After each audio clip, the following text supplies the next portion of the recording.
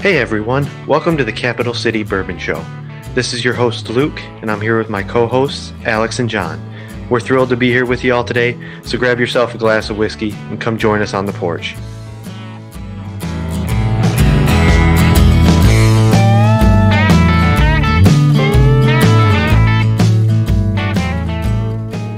Hey everyone, welcome back to the porch. We are certainly glad to be here with you all today. It's been a few weeks since Alex and John and I have been able to get together, but we are we are happy to be on the porch and Very happy. happy to share spirits together again. We uh you know, since it's been a little while, we thought we'd we'd come back with something big, something exciting, something that's uh, a little bit out of our wheelhouse. We're actually not going to be drinking whiskey today, believe it or not. We are uh, we are diving into the world of Armagnac, uh, but not just any Armagnac. Uh, we're going to be tasting perhaps one of the most rare and unique spirits available in the market today. Uh, this is a, a, really a phenomenal spirit produced by a gentleman whose reputation, uh, not only in the whiskey business but spirits in general, uh, precedes him today. Uh, we could spend hours talking about his background and all the things he's done. Unfortunately, we don't have that much time, uh, but we're going to discuss this new product with him and just hear all about it. It is uh, truly one of a kind, uh, and I'm just very excited to get into it. So, gentlemen, please join me in welcoming the one and only Raj Bhakta. Thank you, thank you, thank you, thank you for those kind words, Luke. It is uh, great to be here with uh, with you and your uh, merry band of drinkers. That's how we always consider ourselves. You know, we are we're we're, we're happy fellows, and we just like drinking. So. Um, Nothing wrong with that. Nothing. We need more happy fellows uh, in America today. I think. What do you think? Well, I absolutely agree with that. You're well Yeah. on your way to uh, developing a few. Yeah. let's just say we we started a little early today, and I don't know. I feel like we got a lot more happy over the past few minutes. Yeah. Well, you know, I think that's one of the big things that I um, that I took away from when I was putting the ideas of you know blending and what Bhakta would be. Um, so Bhakta 50, right, which is which is really in a certain way a misnomer. Um, you know, it really should be Bhakta 150 because that's the oldest spirits in the in the blend, or at least 150 50 because that's the range. It's from 150 to 50 years old. And, you know, we're talking about this uh, sort of uh, hysteria that's happening all over today. But when I go back to the vintages that are in this bottle uh, of Bhakta 50, which are from 1868 to 1970, you got 1868, you know, Civil War had just ended, right? Half the country is, you know, bombed out literally. Uh, the actually only true impeachment that ever happened. Uh, I think there was Andrew uh, Andrew Johnson is impeached in the White House. Wow. Um, then you have 1897.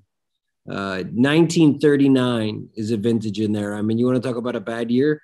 The war is breaking out. Uh, Hitler invades Poland. The whole of Europe is going away. And if you're in this little French village where uh, Armagnac is from, the you're watching your sons, you know, march off to war, another war. And the last time, you know, war happened in Europe, I mean, it killed uh, killed five million men in World War uh, in World War One. So it wasn't like, and then you have, but then you, here's my point: 46, the sun is shining. You know, uh, America came out of the Civil War a superpower. The World War II ended, you know, with much less bloodletting than, um, at least on the French and English and American side, than than could be imagined. By 46, you know, the sun is shining again, and there's recovery. Uh, 1952, uh, America's booming. 63, there's an assassination. JFK dies. Here's my point. You know, there's a lot of ups and downs in history. And, uh, you know, what I like to think of, that what's contained in this bottle of Bhakta 50 um, is an exquisite spirit, but it's also the history of, you know, mankind in the past uh, 150 years. And with an average age of 70 years old, um, you know, Bhakta is pretty much the oldest spirits out there. Um, but as and I'll be quiet here and uh, you know talk about something uh, else, whatever you want to. But the rare thing here is normally you have a spirit that's on the average of 70 years old. It's not going to taste great. The you know bourbon probably starts heading downhill at you know pick at 15. Certainly by 20 years it's gone down, getting too much wood. Scotch can you know last a little bit longer. Actually, you know Scotch will go a lot longer than that.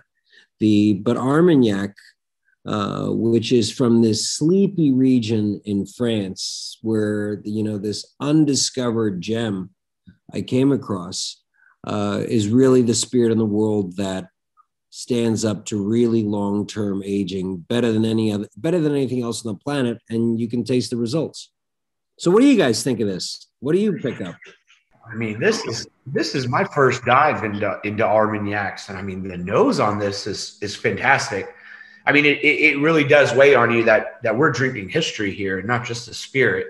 I mean, that's that's a that's just powerful. But I mean, you can get just the butteriness and the the caramel. I mean, this is fantastic juice right here. Absolutely. this is all, all from a grape, from the grapes, right?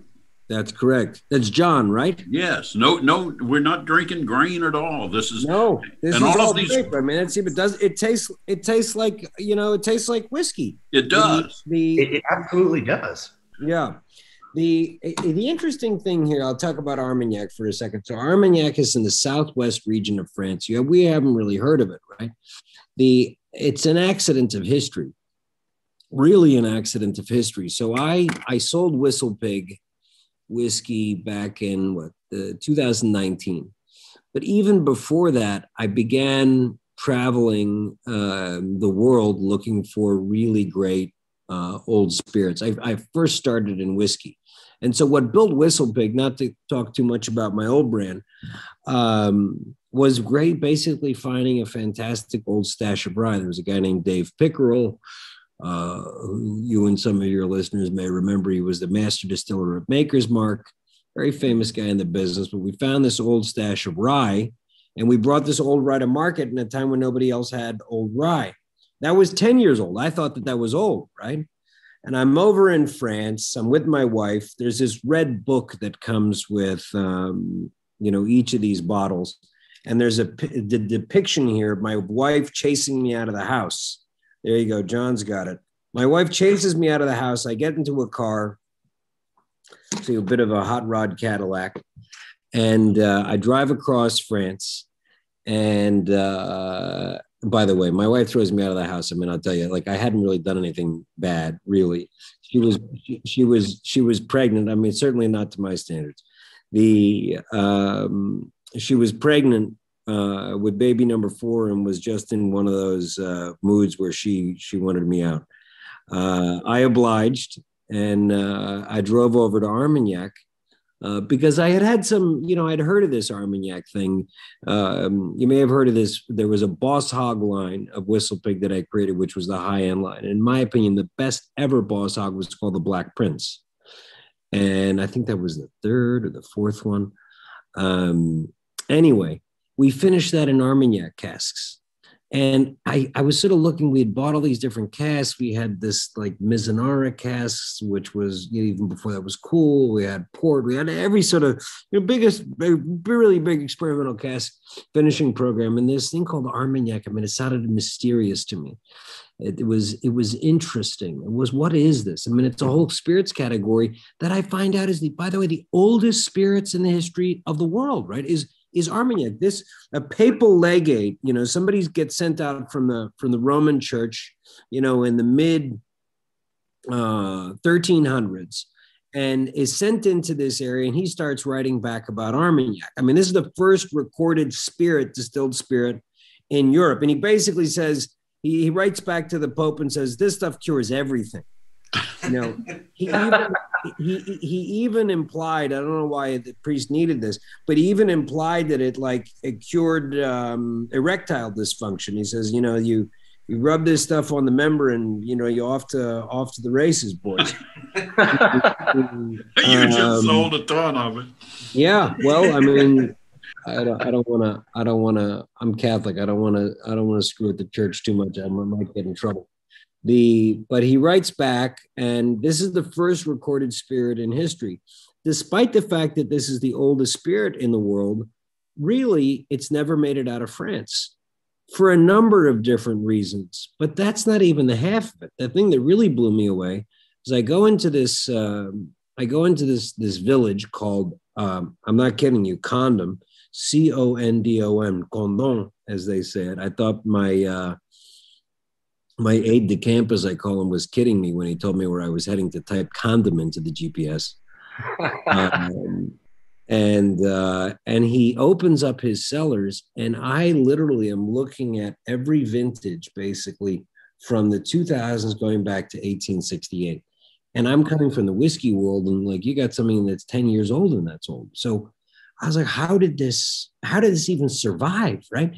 There have been three German invasions since the beginning of those, since like the oldest stuff is in here. You know what the first thing that, that soldiers do when they enter a town, you know, they basically, what do they look for? I mean, they look for two things primarily. First, they look for the booze, right? And then they get all drunk and then they misbehave very badly in general. The um, so this made it through, you know, you have 1868, 1897, 1930, and that blows me away. What was the facility? It was uh, it was it was basically a, a chateau, like a castle um, it's it's sort of like a they call it a chateau. It's like a very grand townhouse that had these underground uh, caves where they kept the spirit. But during the wars, I found out that they would take it out to the countryside and hide it around the farm sides, which is what they did. Wow! And so this being a great, what's the the loss rate on there? Or is there none? And that's why it's survived for 150 years. It's much lower. So here's what happens, Alex the so you lose there are a couple things which drive the speed of your aging process you have the type of wood right you have your let's say temperature and humidity conditions um, and let's say that those and the size of the barrel like those are just a few of the criteria but let's just talk about those. So in kentucky in in, in bourbon let's say it goes into a new barrel 50 gallon 50 gallon barrel right? New charred. Okay, so the aging process is in this barrel, the new charred oak uh, in the climate of, let's say, where most of the barrels are in Kentucky in that part of the world hot, cold, hot, cold, very hot, humid summers. The you get a very fast aging process, right? And that's in a new barrel, new barrel, charred barrel. Okay, now so they even char this thing to make it age faster by year five, I mean, you're you're good. I mean, you really you don't need to age it much more. Maybe you'll get a little bit better by eight, maybe ten, maybe twelve. I mean, but but generally by five, you got a perfectly good product. The now compare this to what they do in Armagnac, and and I'll talk about the type of spirit for a second. In Armagnac, it goes into a barrel twice the size. The it goes into French oak, which is a denser oak. I didn't mention that the the so the amount of exchange you know this the smaller the barrel you're faster you're aging so this goes into a big barrel very dense barrel and that's been used before. So there's like a the tea bag effect right? I mean you, the first time you put a tea bag into you know a hot cup it's going to discharge the most you know potency and flavor. And then every time you use it after that's a little bit less a little bit less a little bit less. But if you want to age something really long you want it in a you know in an older barrel. You want it in a dense barrel you want it in a climate controlled environment where it doesn't you don't have these big temperature swings. And finally and very critically you want a spirit that's got a lot of humph you know in the beginning right? Because if you put something super sweet super light and delicate which may taste great off the still right. you put that into a barrel for too long, it's going to get it's going to get totally dominated uh, by the wood. So what you have in Armagnac is this really unique combination where the spirit, the the barrels, the everything are designed for ultra long term aging, which results in better quality, the better taste profile, and you know put the quality the same. Let's say we have two things we can drink, right, and they taste they taste the same. One's five years old, one's a 100 years old which one is which one you want to taste. I mean, eh, they, they taste the same.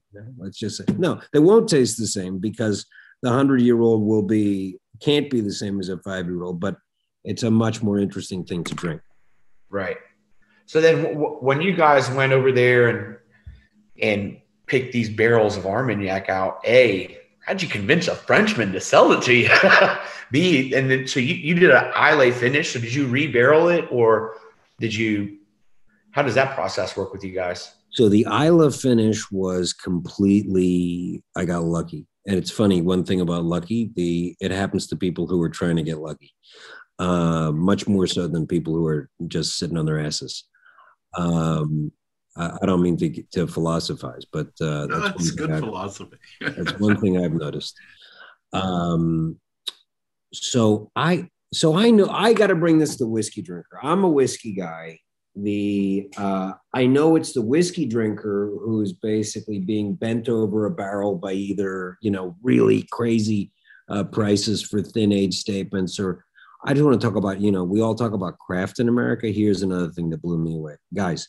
The the you go there and it's small little farmers distilling this stuff in wood burning stills in the countryside and they can only make for six times six months out of the year max and it's pretty much done for two or three months of the year but i'm like this is craft on a level that's you know storybook level from an american perspective right i mean this is the way we were making whiskey 150 years ago here so the the but to answer your question about how did the Islay finish happen? So I'm thinking was like, okay, this is great. This Armagnac tastes great, but I need a bridge for myself, myself in the beginning, but also for other whiskey drinkers. How am I gonna like get myself into the right? I mean, I've drank nothing but whiskey basically for 25 years. I can appreciate that this stuff tastes great, this Armagnac. I can appreciate the fact that really I should be drinking Armagnac because Christ, it costs five times as much to make new, right, than whiskey. And then it's aged in a barrel that costs but twice as much. And it's aged 10 times as long. Basically, it's a much more exquisite product, but I'm not accustomed to drinking this stuff. So I'm going through the French countryside. The and I'm meeting different, you know, producers as they're called farmers, basically. And I go to this one farmer, nice guy. You know, we're talking. He shows me his operation. We're tasting a couple of his Armagnacs, and I said, "Do you have anything like, you know, really unusual, really interesting?" Uh, and he pulls out this gla- this bottle that he had finished in a Scotch cask. Particularly, it was an old Bunnahabhain cask. He told me.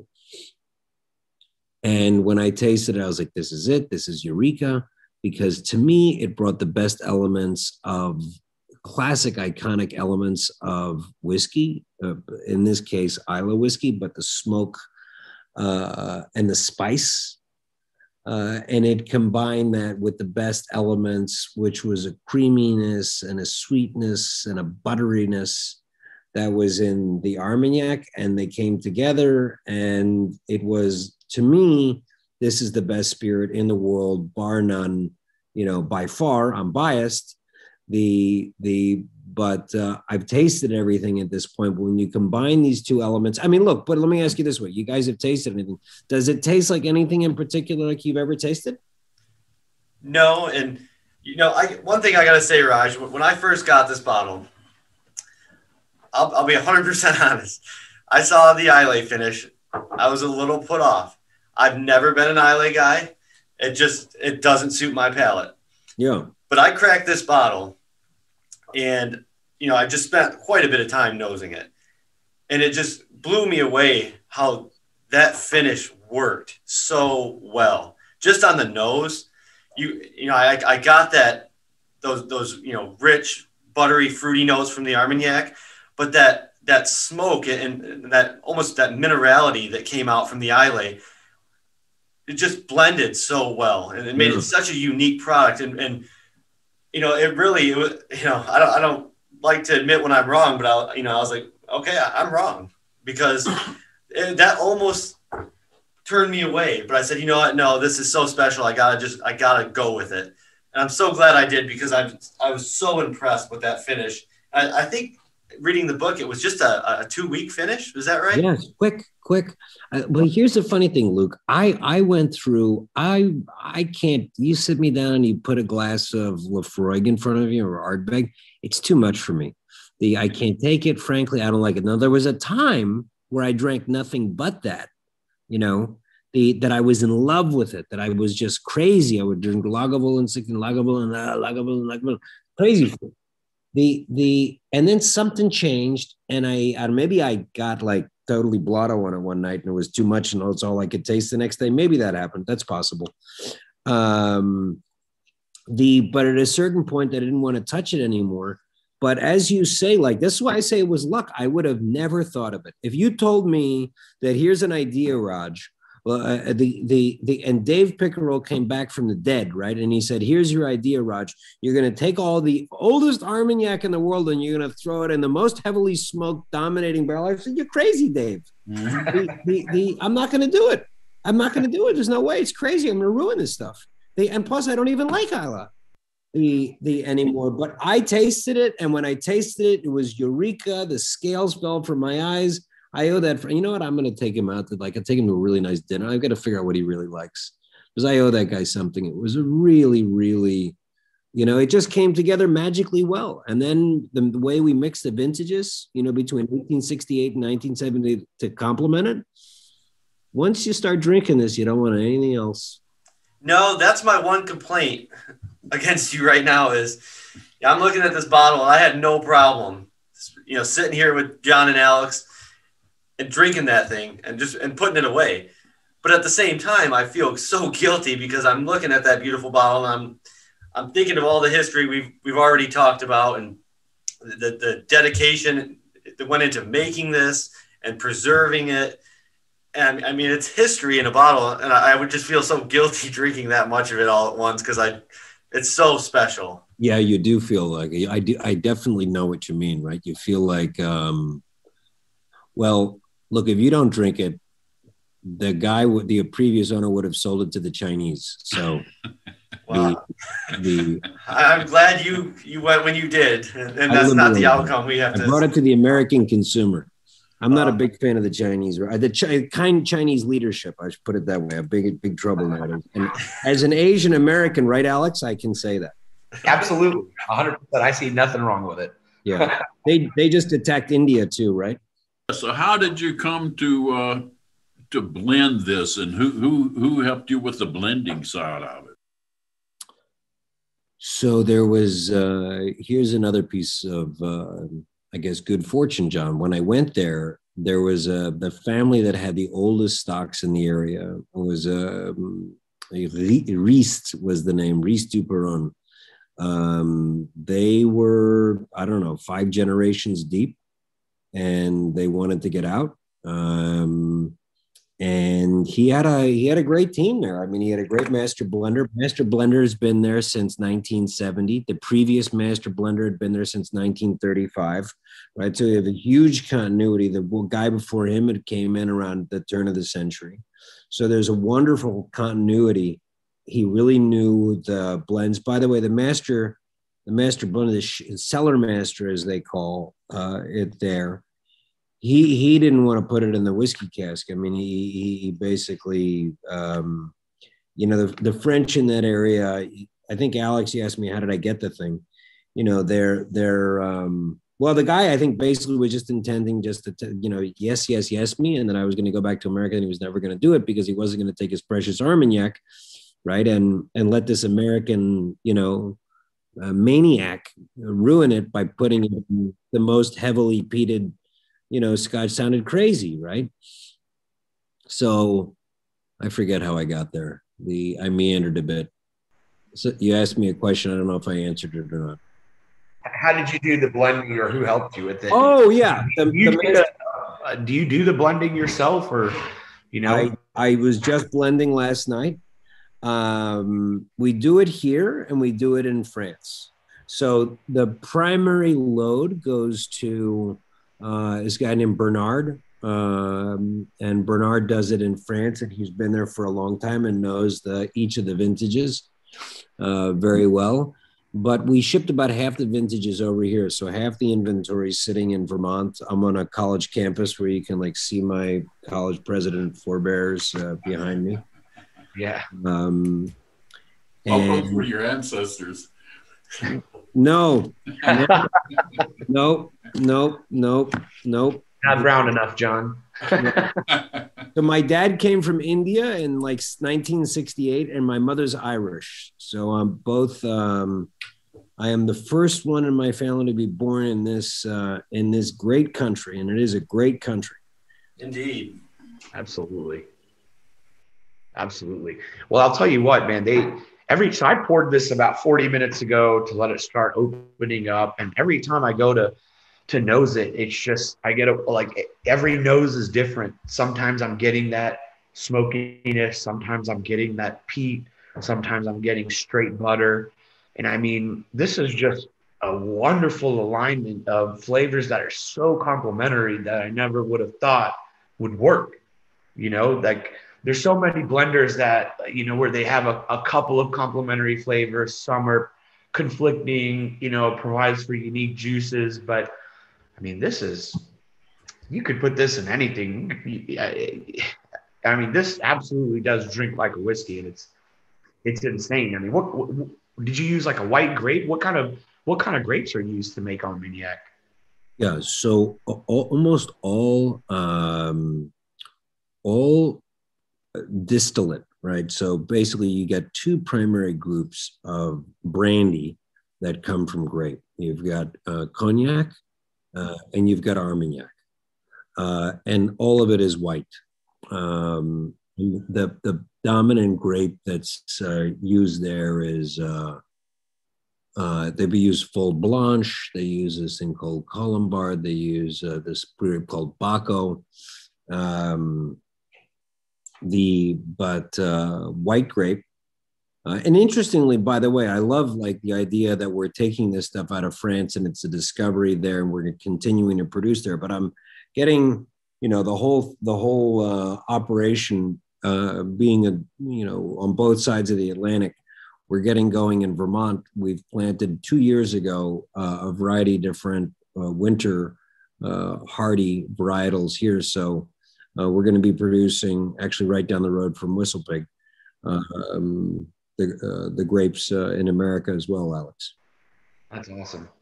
We're gonna definitely have to come up there and check it out sometime. By all means, by all means. Hey, look, I've got this. Look at this college campus that I got. The the it's like largely empty. So I've got 600 rooms. So you can bring you and 600 of your closest friends. So, so this is not a one-off. I mean, you didn't discover all of this in France, uh, and to decide decided to give it to us in a great presentation box, along with an education. But you, you're thinking you're going to run with uh, with this for a while by growing your own grapes and beginning to reproduce this. You're going to miss all of the age. Where where, do you go from here? It's a great question, John. So this is batch one, right? The the this is a release the year one, which was basically the end of last year in 2021, um, is a release of 38 barrels. Right, each of those barrels is individual is is unique. So for you and your listeners, you got barrel five. My honest, sincere, that we started at two hundred and fifty dollars a bottle. Right now, it's about four hundred dollars a bottle. I expect that it'll be definitely be five hundred dollars a bottle in not too long, and I think this is going to be, you know, this is going to go well up. My where I'm getting to is this is an investment piece. This is going to be the original release of a long term, what I think will be a brand um, at the very pinnacle of the spirits world. So this is one where you should. I, I let me not. T- my recommendation is to buy two of anyone. If, if you've got if you've got the dough, you should pick up two barrels of each bottle that you can. But at least whatever you buy, buy two of. Hold on to one, you know, as a stock and drink the other the because this is the inauguration of the brand and each barrel is different so for example you've got barrel five barrel five um, the vintages I, you know you've got 1868. I know it's got 1939. It's got some 46 in it. Um, but the vintages change in each one. So now we'll be releasing, we're in the teens of what's, you know, coming out to the to market. Each of the vintages are different. So some have 1897, some have 1888. Some have 1939, some have 1924. All these are rare vintages. Some have 40, 46 is in most of them, but some have 42. The 52 could be 52 or 55, depending on how the cellar master blended that one. 60, and then you've got a couple in the 60s. So each one of these actually is a fairly, we're, we're now beginning to blend barrel 16, which will come out later this summer. But each one of these things is a pretty painstaking process. Each barrel gets released out to market about 350 bottles each barrel. The um, so it'll be a long-term line. You'll see this this uh, this this Bhakta 50 line is going to be called the Stockholder Series, and I'll uh, just drop this in there. If you if you or a couple of your you know listeners are interested, we've got this collection where you can pick up two bottles of each barrel of the 38 you follow me? So so you get so you get if you had the collection because i go back and i look at my you know what a boss hog one bottle costs right now? It's unbelievable. It's like a 15 18 12 i mean something mid-teens right now price. The so you know, I thought to myself, and I instead of like selling shares, which I did last time, and it caused me headaches with partners and all this sort of stuff. The which is in WhistlePig, the I'm selling collections very, very well priced of my inaugural releases, so you can buy a bottle of, what I call the stockholder collection. Um, for if you pick it up from Vermont for $25,000 now, it started at 20, it's going up, it'll go higher than that, but you get 76 bottles. And you put half of those away. I don't know whether it's we're going to be worth five times as much or 10 times as much or 20, you know, but I expect something like that and you can drink half of it, right? Because the whole collection is designed. You drink half your bottles over time, you gift them this and that. You stick half your bottles away. So literally, you consume half of your investment, and the half that you keep, you know, might. I can't make promises in these things, but I fully expect that if it's not ten worth ten times as much, I haven't done my job. Yeah.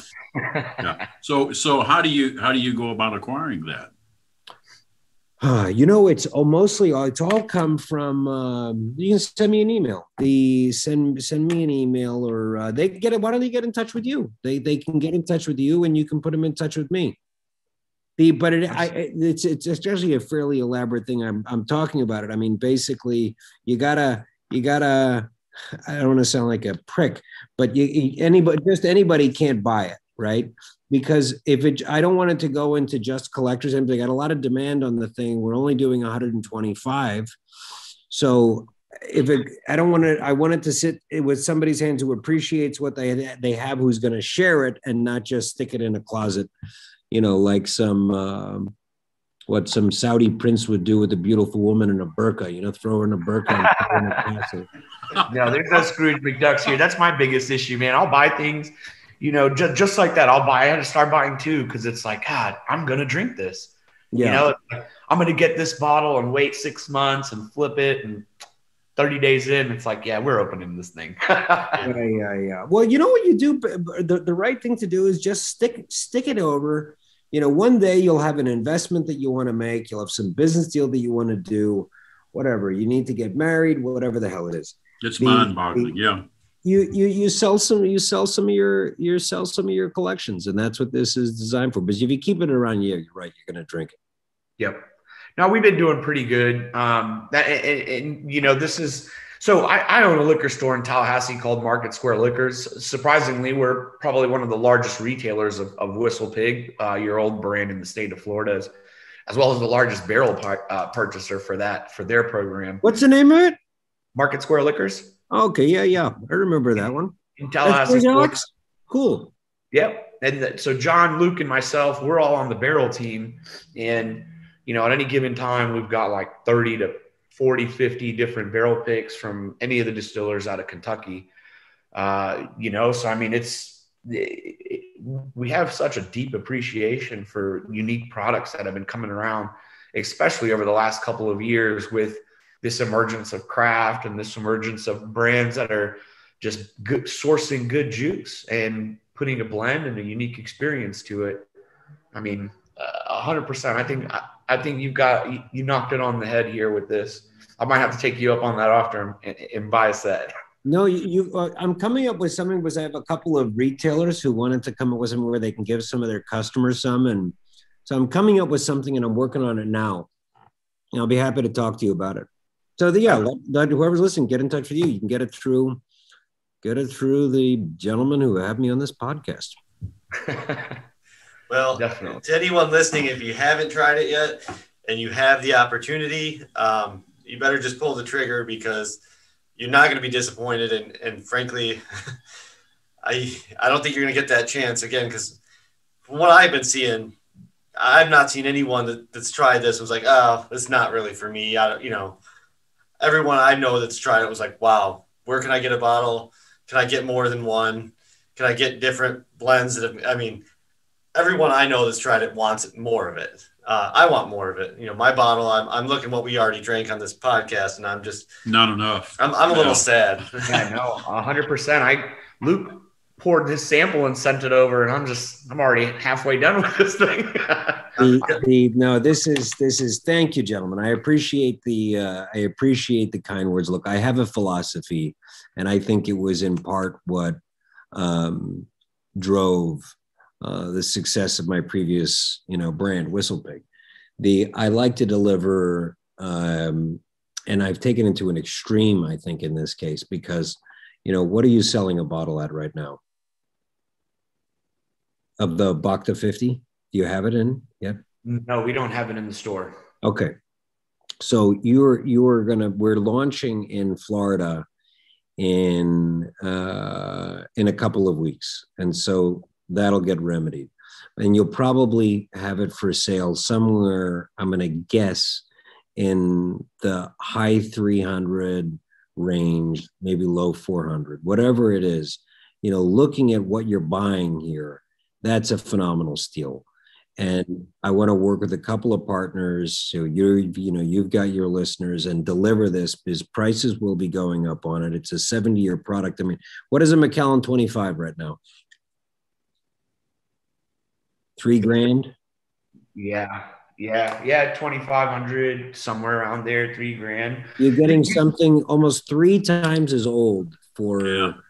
10%. Yeah, it's going to be heavily yoked and You know, it almost makes me feel like I got low self esteem selling this stuff for like only four hundred dollars. I mean, we gotta get to fix that, right? Oh, prices go up, man. Spoken like prices a true but you have managed to put magic in a bottle, and and you have managed to find a, something that is so unique and so pleasant and and and exquisite at the same time. I, I am blown away by it. I was I was touched by one of the things in the uh, uh, the background we were reading, where I think it was you that said uh, uh, master distilling is uh, master blending is becoming as much of an art as master distilling, or words to that effect.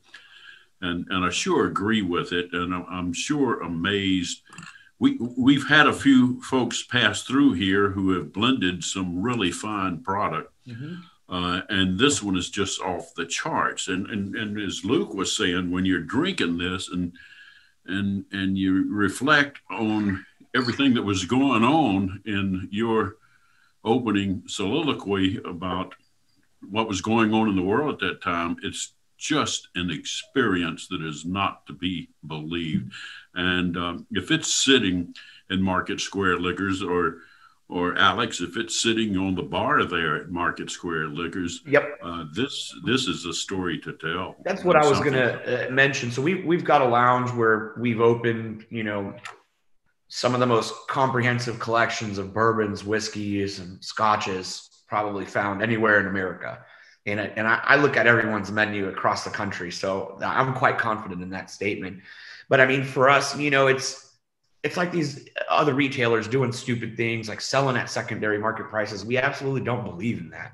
Right. You know, so when we did the lounge, you know, it's we we're here to instead of me selling one bottle to one person, I'd rather do it by the glass at a price that is probably so low people are going to think that I'm crazy. But now I get to share that experience because I mean, the cornerstone of our business is customer service and product knowledge. And I assure yeah. you, just like you have product knowledge for your SKUs, we have it for a lot of the SKUs. Yeah. So we'd rather, you know, we're, we're in the business of getting experiences out to people. Uh, and this is definitely something that will make the bar, uh, will make the, the shelf at our lounge 100%. Wonderful. We'll, we'll, we'll get you, I'll get you, um, I'll definitely come visit and I'll talk to you about that, uh, that stockholder piece, because if you had a collection and I think of, uh, of each of the, uh, barrels that are coming out here, that would be, I think you would be the only one in the country actually with that. yeah, we might have to definitely do that to the store. Absolutely. Yeah. You can go ahead and count on that. Let's let's figure out how to get it done. We'll do it. Okay. All right. That would be awesome. Man, I would love to go to the lounge and, and have a few flights of these. Oh yeah. Batches and just sit there and pick them all apart and just and they're all they're all named so so you got like barrel seven right and then that's called Guinevere they're all named after these like knights I was reading about this book of knights pretty cool characters um and they range between you know this is looks like these are in the mid 90s proof wise the the average age goes between you know mid 60s to mid 70s on them they're what'll blow you away is that they actually like in each barrel is unique. They're all exquisite but they're each unique. So the we will follow up on that point and hopefully some of your uh, some of your uh, good listeners and the other folks will get a chance to uh, to try it. Yeah absolutely. The buck 50 so one one last question from me is when you your wife ran you out of the house and you you took a drive over there and uh, when you finally came back home she asked what you'd been doing. Was it sort of nah not much i or? told her i was stuck in a bordello for a week the, the and that i had the credit card bills to match. the, you were gone a week. Yeah, the the she she she thought that was so over the top that she didn't believe me, and it diffused the situation. it was only half true. Well, on behalf of uh, many drinkers around the world, we tell her we we really appreciate that. yeah, if she didn't run me at the house, we might not be drinking this fine juice right now. That's true. No, no, that's absolutely true. No, I mean that that worked out really well for yeah. us. I gotta say, uh, absolutely. Our hats off to your wife. Thank you, thank you. She's a lovely woman. She's a lovely woman. I'm glad. No, look, a lot of things. I mean, here's the thing that I really get to. There's so many layers of chance, modern chance, right? The the I had to meet the guy who I you know I was talking with with my my head of operations Giles the other day, the and I was trying to come up with some naming system. We've got this this Bhakta 50. We're gonna it, we're gonna evolve the name into the Bhakta Stockholder 50 because of what I was explaining on the stockholder program before, and that becomes like a real you know investment bottle. The because it's got all these old vintages anyway. I'm getting off the point. The point was being the layers of chance that are required for that bottle to land land into your hands one, it had to be for sale, which it hadn't been in for 150 years. Two, I happened to, I had to have gotten chased out of my house. Three, I happened to have jumped in the car that day that I wasn't going to go jump out to to taste the whiskey finish because I think that that's what seals the deal on the on the entire thing. Because I never would have thought, as you were saying, Luke, about the whiskey finish, you know, before I would have never gone for it. I mean, so many different layers of chance had to have happened and Armagnac didn't uh, needed to have stayed a secret, right? I mean, what are the chances? I mean, you have everybody scouring the planet for all these different types of you know categories and stuff like that. I mean, this is basically a much higher end mezcal, right? Uh, instead of being made in Mexico, is being made in France for centuries. That's been aged, and it's just never been found. I mean, it's people have known it's there, but it hasn't reached the consumer. So Oh, and then which would all the stocks would have sold out. So I mean, it's layer after layer, and a bottle. And I'll put it this way: I'll, I'll end on this note.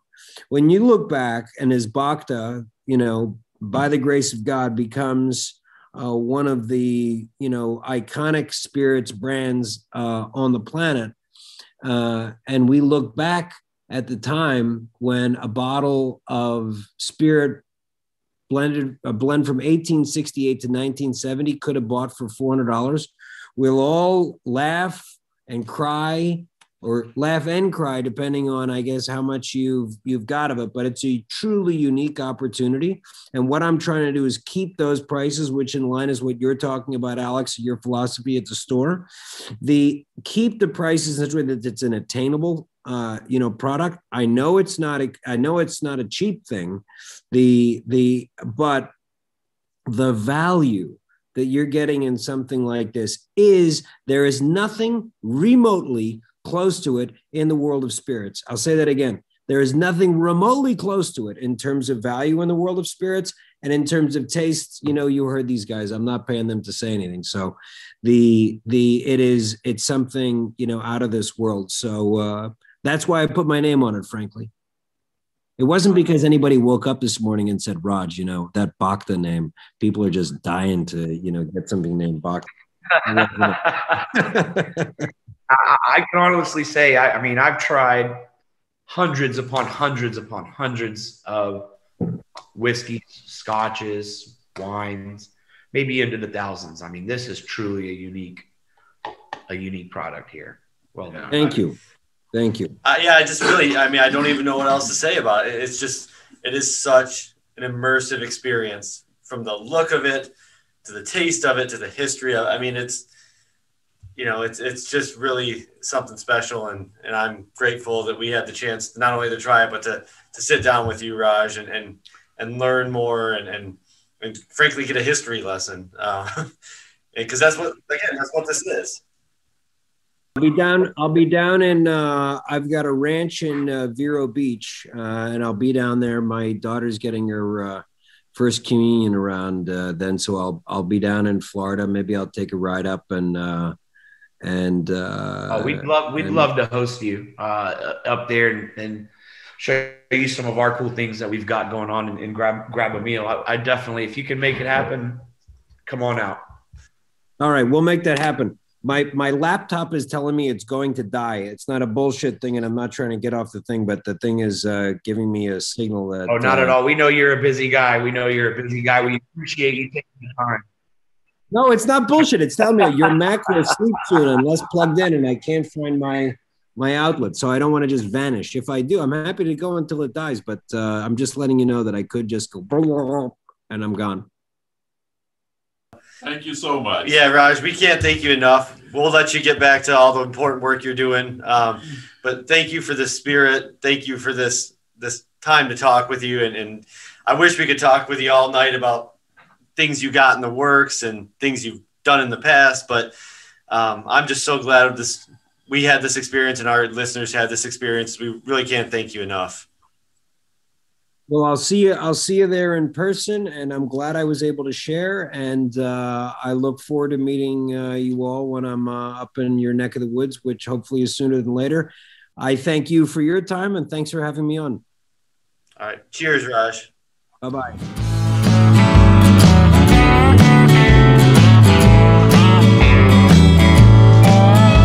Hey everyone, thanks again for tuning in to the Capital City Bourbon Show. We have more great episodes planned for you in the future, so come back and join us on the porch. Cheers, y'all.